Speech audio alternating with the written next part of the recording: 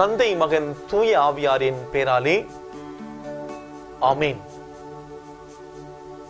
இன்று ஜூன் மாதம் வியாழக்கிழமை.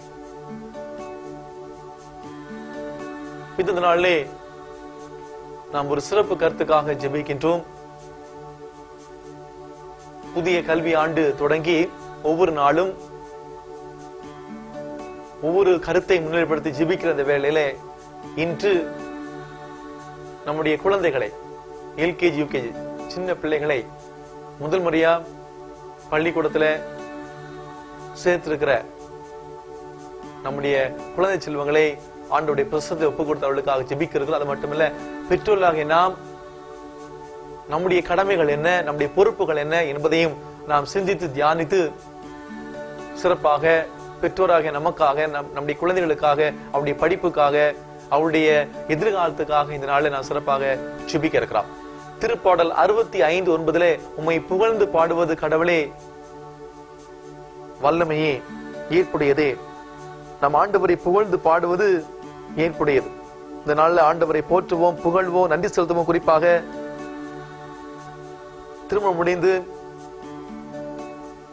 நம்முடைய குடும்பத்திலே ஒரு புதிய வரவுக்காக எதிர்பார்த்திருந்து இறைவன் நமக்கு குழந்தை செல்வத்தை கொடுத்திருக்கிறார். அந்த குழந்தைகளை ஸ்கூல்ல அனுப்பணும் பல கனவுகளோடு இந்த ஸ்கூல்ல தான் சேர்க்கணும் இந்த பள்ளியில தான் சேர்க்கணும் என்ற ஒரு எதிர்பார்ப்போடு நம்முடைய பிள்ளைகளை இதோ நாம் பள்ளியில சேர்த்திருக்கிறோம். இந்த நாளிலே நம்முடைய குழந்தை செல்வங்களுக்காக குறிப்பாக இறைவன் கொடுத்த இந்த மிகப்பெரிய பொக்கிஷமாகிய நம்முடைய பிள்ளைகளுக்காக நன்றி செலுத்துவோம். இன்றைய குழந்தைகள் நாளைய தலைவர்கள் இந்த சமுதாயத்தை இந்த சமுதாயத்துல மிக முக்கியமான பங்கு வகிப்பவர்கள் இந்த நாள்ல நம்முடைய குழந்தை செல்வங்களுக்காக நம்முடைய பிள்ளைங்களுக்காக நன்றி சொல்வோம். மத்திய நட்சதி ஐந்தாம் அதிகாரம் இருபது முதல் இருபத்தி ஆறு வரை இறைவாத்திலே அக்காலத்தில் இயேசு தம் சீடு நோக்கி கூறியது மறைநூல் அறிஞர் பரிசெயர் ஆகியோரின் நெறியை விட உங்கள் நெறி சிறந்திருக்கட்டும். இல்லையெனில் நீங்கள் விண்ணரசுக்குள் புக முடியாதென உங்களுக்கு சொல்லுகிறேன். கொலை செய்யாதே. கொலை செய்கிற எவரும் தண்டனை தீர்ப்புக்கு ஆளாவர். என்று முற்காலத்தவருக்கு கூறப்பட்டிருப்பதை கேள்விப்பட்டிருக்கிறீர்கள். ஆனால் நான் உங்களுக்கு சொல்லுகிறேன் தம் சகோதர சகோதரிடம் சினம் கொள்கிறவர் தண்டனை தீர்ப்புக்கு ஆளாவார். தம் சகோதரியோ சகோதரனையோ முட்டாளே என்பவர் தலைமை சங்க தீர்ப்புக்கு ஆளாவார். அறிவிலி என்பவர் எரி நரகத்துக்கு ஆளாவார். ஆகையால் நீங்கள் உங்கள் காணிக்கையை பலிப்பீடத்தில் செலுத்த வருகிற பொழுது உங்கள் சகோதர சகோதரி எவருக்கும் உங்கள் மேல் ஏதோ மனத்தாங்கள் உண்டன? அங்கே நினைவுற்றால் அங்கேயே பலிபீடத்தின் முன் உங்கள் காணிக்கை வைத்துவிட்டு போய் முதல்லே அவரிடம் நல்ல உறவு ஏற்படுத்திக் கொள்ளுங்கள். பின்பு வந்து உங்களுடைய காணிக்கை செலுத்துங்கள். உங்கள் எதிரி உங்களை நீதிமன்றத்துக்கு கூட்டி செல்லும் போது வழியிலே அவரோடு உடன்பாடு செய்து கொள்ளுங்கள். இல்லையேல் உங்கள் எதிரி நடுவரிடம் உங்களை ஒப்படைப்பார். நடுவர் காவலரிடம் ஒப்படைக்க நீங்கள் சிறையில் அடைக்கப்படுவீர்கள். கடைசி காசு வரை திருப்பி செலுத்தாமல் அங்கிருந்து வெளியேற மாட்டீர்கள் என உறுதியாக உங்களுக்கு சொல்லுகிறேன். அன்புக்குள்ளே நாம் எல்லோருமே கடவுளுடைய சாயல். எனவே நம் எல்லாரையும் மதித்து மனித மாண்போடு வாழ நாம் முயற்சிப்போம். ரின்சாய் என்கிற துறவியை பார்க்க ஒருவர் வந்தார். வரும் வழியிலே அவருக்கு ஏற்பட்ட கோப அனுபவத்தினால் அவர் வேகமாக தன்னுடைய காலணிகளை கழற்றி கதவுல எரிந்துவிட்டு அந்த ரின்சாய் அந்த துறவி முன்னாடி வந்து உட்கார்ந்து மண்டியிட்டு வணக்கம் செலுத்தினார். அதுக்கு ரின்சாய் அவரிடம் முதல்ல உன்னுடைய காலனியிடமும் கதவிடமும் சென்று மன்னிப்பு கேட்டு வா என்று சொன்னாராம். அதுக்கு வந்தவர் மிகப்பெரிய துறவி இப்படி பகுத்தறிவுக்கு சிறிதும் சம்மதம் இல்லாத ஒரு செயலை செய்ய வற்புறுத்துகிறார் நினைத்து நான் எதற்கு உயிரற்ற ஒரு பொருளிடம் மன்னிப்பு கேட்க வேண்டும். இதனால் என்ன பயன்? அவை புரிந்து கொள்ளவா போகின்றன என்று எதிர்கேள்வி கேட்டார். அதற்கு அந்த குரு நீ உன் கோபத்தை அந்த சடப்பொருளிடம் தானே காண்பித்தாய்? அவற்றை தானே உதறி எறிந்தாய்? அப்போது சடப்பொருள் என்று உனக்கு தெரியவில்லையா? நீ அவற்றிடம் மன்னிப்பு கேட்டுதான் ஆக வேண்டும் என்று அந்த ரென்சா என்ற குருவானவர் சொன்னாராம். அன்புக்குரிய இந்திய நட்சத்தி வாசகத்திலே கொலைக்கு காரணமான கோபப்படுதலையும் அதற்கு தண்டனை உண்டு என்றும் இயேசு ஆண்டவர் குறிப்பிடுகிறார். அதோடு கோபத்தை எதிர்கொள்ளக்கூடிய மருந்து மன்னிப்பு என்பதையும் இயேசு ஆண்டவர் தெள்ள தெளிவாக இந்திய நற்செய்தி வாசகத்து மூலமாக சுட்டி காட்டுகிறார் இயேசு தன்னுடைய வாழ்விலே எல்லா மக்களையும் எல்லா நேரத்திலையும் அன்பு செய்தார். மன்னித்தார். அவருடைய விளங்கிய இறைமையை கண்டு மதிப்பு மரியாதை அளித்தார். யோவா நட்சதி எட்டாம் அதிகாரத்தில் வாசிக்கிறோம். அந்த பாவியாகிய அந்த பெண்மணி விபச்சாரத்தில் பிடிபட்ட பெண்மணி கையுமையுமாக பிடிபட்டாள் என்று பரிசைகளும் சதசுகளும் கொண்டு வந்த பொழுது எல்லாருமே சட்டத்தை முன்னிலைப்படுத்தி அந்த பெண்மணியை பார்த்த பொழுது இயேசு ஆண்டவர் சற்று வித்தியாசமாக மனித நேயத்தோடு யாரும் உன்னை தீர்ப்பிடவில்லையா? நானும் தீர்ப்பிடவில்லை என்று சொல்லி மன்னிப்பதை நாம் இயேசு ஆண்டுடைய வாழ்க்கையில நாம் பார்க்கிறோம். ஆக இயேசு ஆண்டவர் யார் எந்த நிலையில் வந்தாலும் அவருடைய விளங்கி அந்த இறமையை கண்டு மதிப்பும் மரியாதையும் அளித்தார். அன்போடு அவளை அரவணைத்தார். அன்போடு அவளுக்கு அறிவுரை கூறினார் என்று நாம் இயேசு ஆண்டுடைய வாழ்க்கையில நாம் பார்க்கிறோம். என்ன நாம் நம்முடைய வாழ்க்கையில எல்லாருமே கடவுளின் சாயல் என்பதை நாம் உணர்ந்து யாரா இருந்தாலும் சரி அவளை நாம் மனித நேயத்தோடு நாம் அவங்கள வந்து நடத்துவோம். உயிரற்ற பொருள் உயிருள்ள பொருள் உயிருள்ளவர்கள் மனிதன் இப்படி எந்த ஒரு பாரபட்சம் பார்க்காம நான் வாழ்கிற வாழ்க்கை சூழல்ல ஒருவர் மற்றவரை மதித்து வாழ்கிற அந்த அருளையும் ஆசிரியை கேட்போம். அன்புக்கு இந்த நாளிலே எல்கேஜி யூகேஜி படிக்கிற பிள்ளைகளுக்காக நாம் ஜெபிக்கின்றோம்.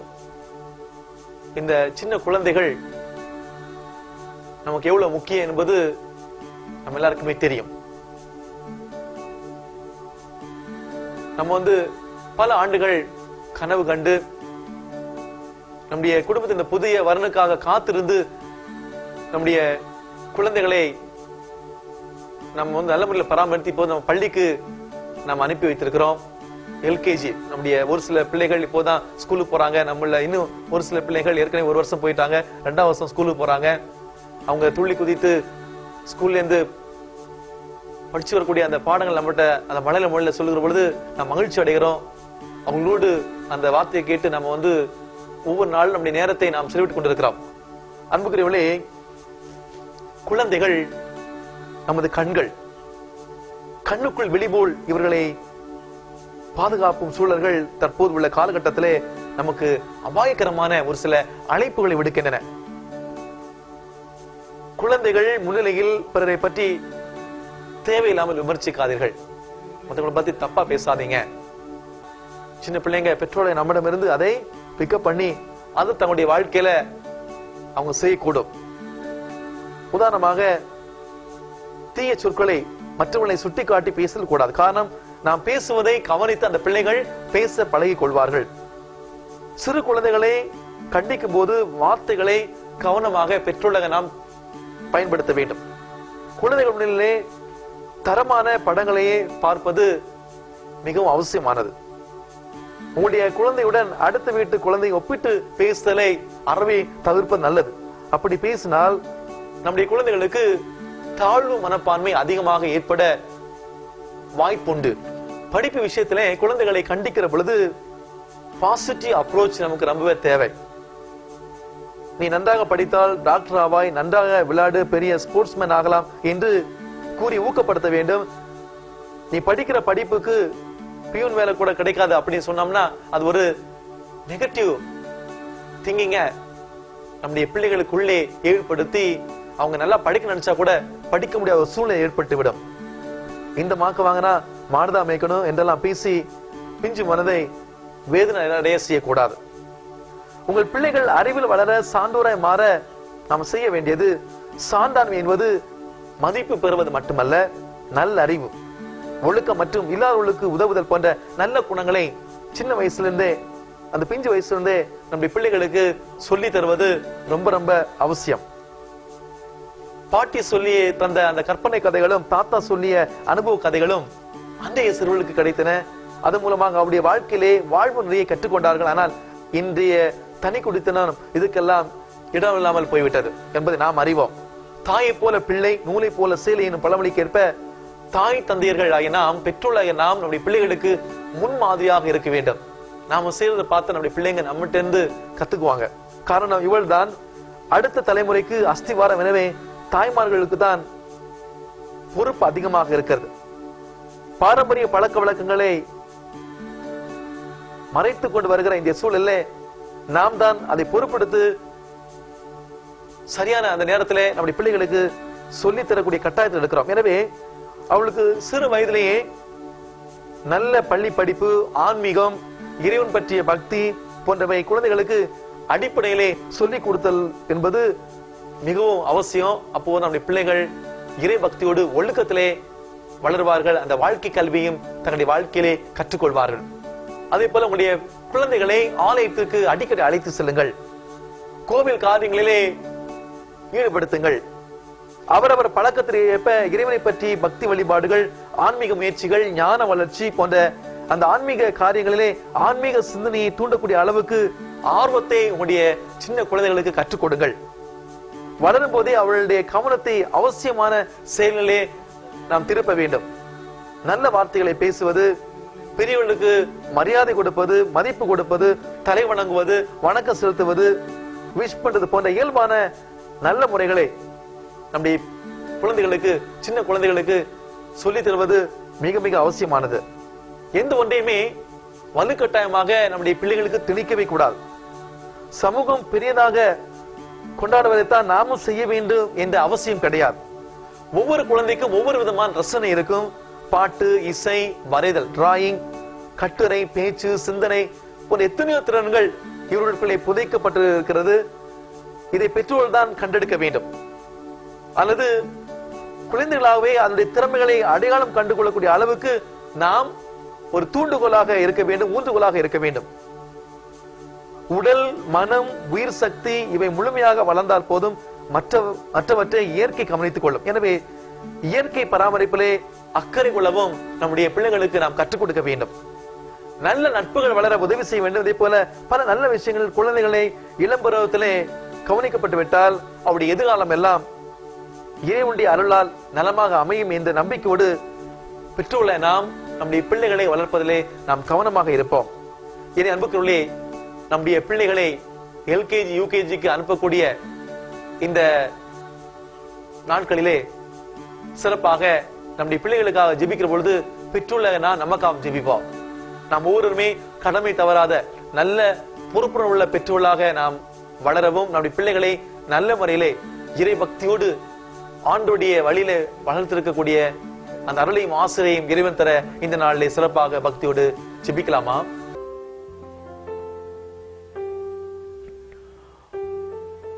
மூ ஒரு கடவுள் உறவின் கடவுள்.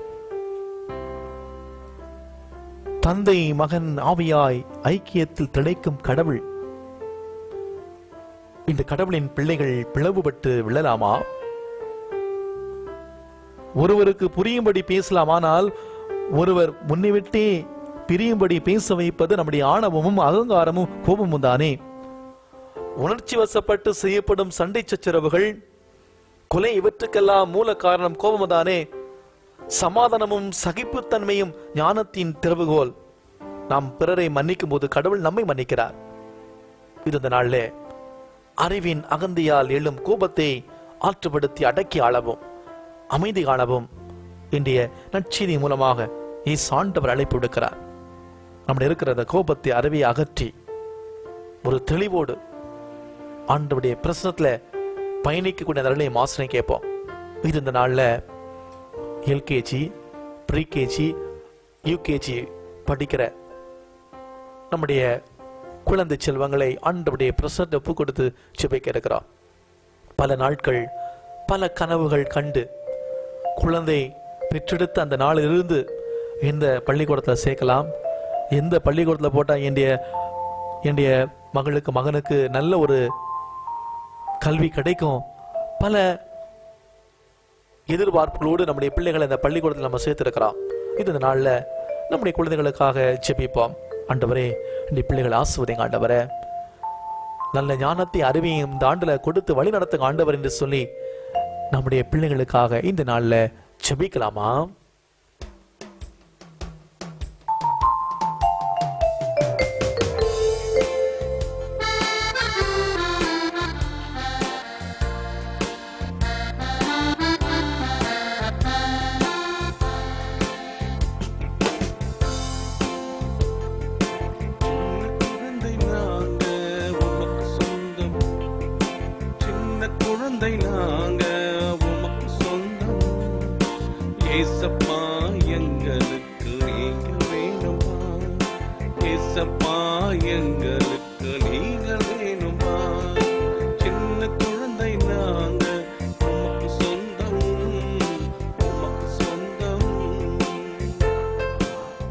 குழந்த நாங்க. உமக்கு சொந்தம் ஏசப்பா. எங்களுக்கு நீங்க வேணும்ப்பா. குழந்தைகள நல்ல அறிவு ஞானம் வேணும். அனுதினமும் எமக்கு அருள்வாய். அந்த ஞானத்தை அறிவை அப்பா அம்மா கிட்ட நல்ல மதிப்போடு நான் நடக்கணும். கீழ்ப்படுதல பிள்ளைய நடக்கணும். விற்றுள்ளே உன்னுடைய பிள்ளைகளை ஒப்பு கொடுங்க. உன்னுடைய பிள்ளைகள் கீழ்ப்படுதல் உள்ள பிள்ளைகளா. அறிவில் ஞானத்தில் சிறந்து விளங்குற பிள்ளைகளா? ஆண்டவருக்கு வந்த பிள்ளைகளா? வாழணும் வளரணும். நம்முடைய பிள்ளைகளை ஆண்டவருடைய பிரசனத்தை ஒப்பு கொடுத்து அவர்களுக்காக ஜெபிக்கலாமா?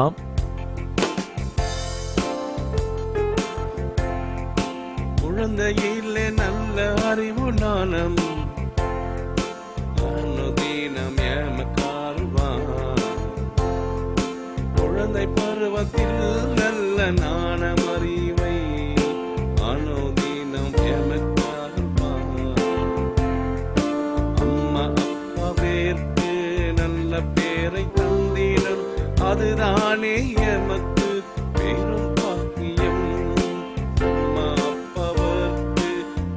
பேரை சேர்க்கணும்.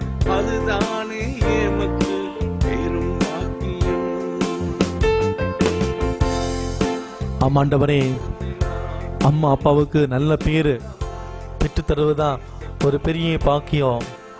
எங்க அப்பா அம்மாவுடைய கனவுகளை நிறைவேற்றணும். பெற்றோர்களே உடைய பிள்ளைகளை ஒப்பு கொடுங்க.